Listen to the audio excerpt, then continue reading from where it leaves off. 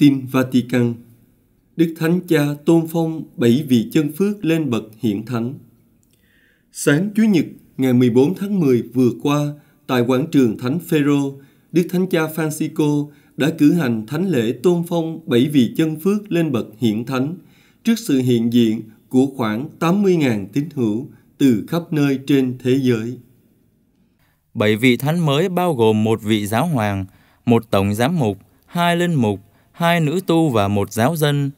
Xét về quốc tịch, có bốn vị người Ý, ba vị còn lại là người El Salvador, Đức và Bolivia gốc Tây Ban Nha.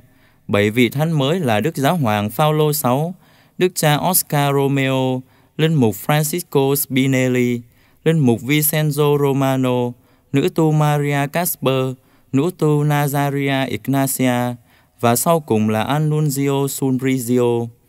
Cùng đồng tế với Đức Thánh Cha trong thánh lễ, có khoảng 600 hồng y và giám mục, trong đó nhiều vị là nghị phụ Thượng Hội đồng Giám mục về giới trẻ, đang diễn ra và 3.000 linh mục.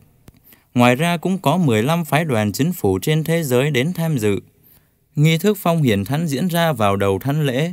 Trước hết, Đức Hồng Y Angelo Becciu, Tổng trưởng Bộ Phong Thánh, cùng với bảy thỉnh nguyện viên án phong thánh, tiến lên trước Đức Thánh Cha và Đức Hồng Y Tổng trưởng, xin Đức Thánh Cha ghi tên vào sổ bộ các thánh của giáo hội Bảy Chân Phước, liền sau đó là phần tóm lược tiểu sử của bảy vị chân phước.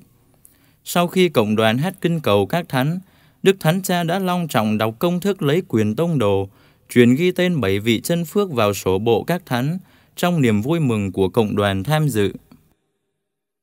Cuối thánh lễ, Đức Thánh Cha cảm ơn các hồng y và đông đảo các giám mục và linh mục đến từ các nơi trên thế giới.